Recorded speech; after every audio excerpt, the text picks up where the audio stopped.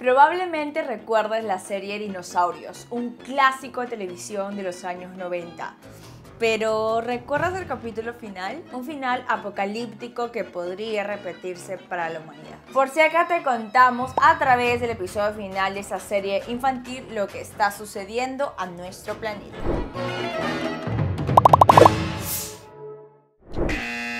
Spoiler alert.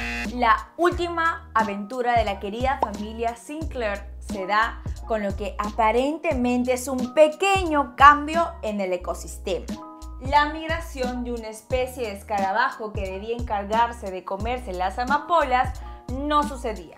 El motivo, la explotación industrial del pantano donde solían reproducirse estos animales por una empresa que solo tenía en mente el beneficio económico y donde trabajaba el padre de la familia.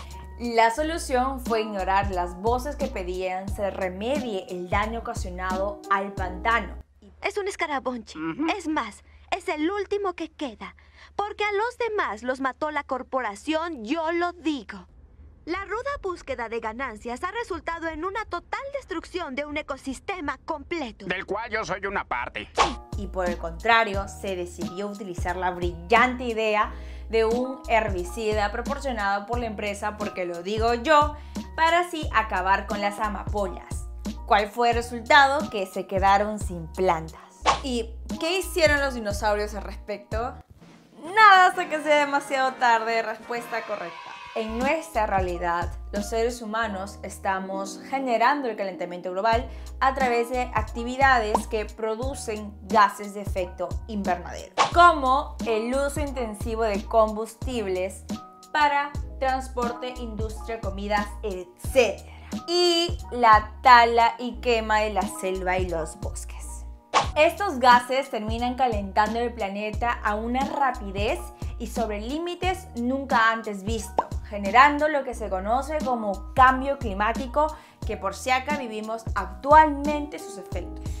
Inundaciones provocadas por el fenómeno del niño. Sequías más frecuentes en la sierra, mayor cantidad de huecos y deslizamientos, aumento de temperatura, del hielo de los glaciares, pérdida de la biodiversidad y más lo que no solo afecta a nuestra economía, sino también y principalmente nuestra salud.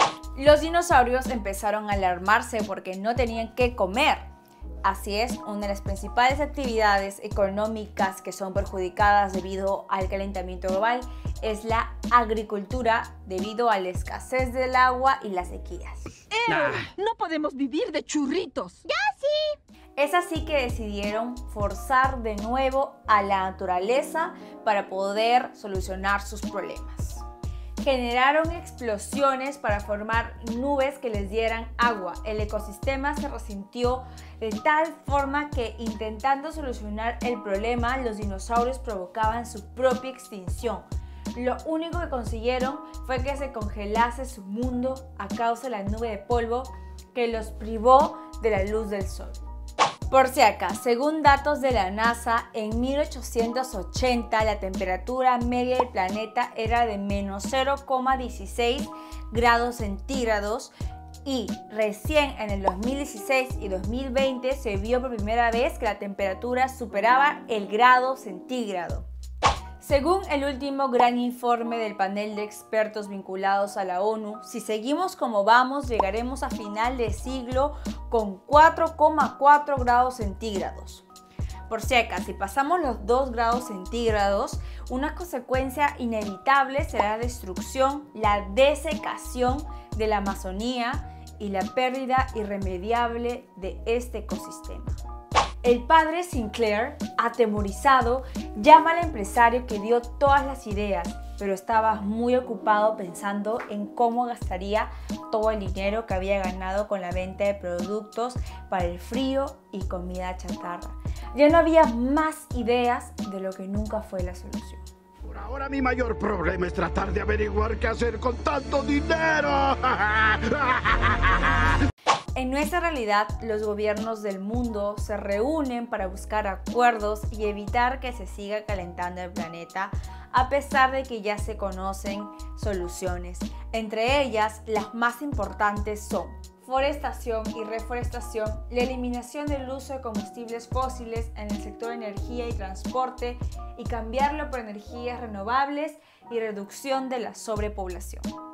Sin embargo, no son muy cómodas por los países más contaminantes como China, Estados Unidos y la India, porque esto da mucho, mucho, mucho billete. Por ello, ante problemas globales, soluciones globales. La COP26, que es la conferencia sobre calentamiento global de la ONU más grande e importante en Escocia, se desarrolló hasta el 12 de noviembre, aunque parece que nuevamente no traerá ningún cambio real a las causas y consecuencias del calentamiento global. Además, es alarmante que los presidentes Xi Jinping de China, Jair Bolsonaro de Brasil uno de los países que por Siaca más emisiones tiene en Latinoamérica, y Vladimir Putin de Rusia no hayan asistido a la cumbre. Pero no son los únicos, tampoco lo hizo el presidente Pedro Castillo. La ausencia del presidente en esta importante cumbre es por lo menos problemática debido a que el Perú es el tercer país más vulnerable a los efectos del cambio climático después de Honduras y Bangladesh. Y cuando esto suceda vamos a necesitar del apoyo y colaboración internacional.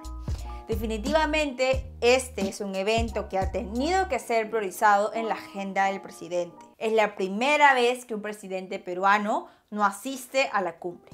Al final de la serie, el padre pide las inútiles disculpas por su actuar y por haber confiado ciegamente en el progreso y la tecnología sin sentir respeto por la naturaleza. Lamentablemente, el más afectado fue el nene consentido y a la vez el que menos entendió lo que estaba sucediendo. Te entendemos, cielo. ¿Qué entendemos? Papi estuvo a cargo del mundo y no supo cuidarlo bien, ¿sabes? Y ahora parece que no quedará mucho mundo para ti, para tus hermanos, para poder vivir. ¿Nos vamos a mudar?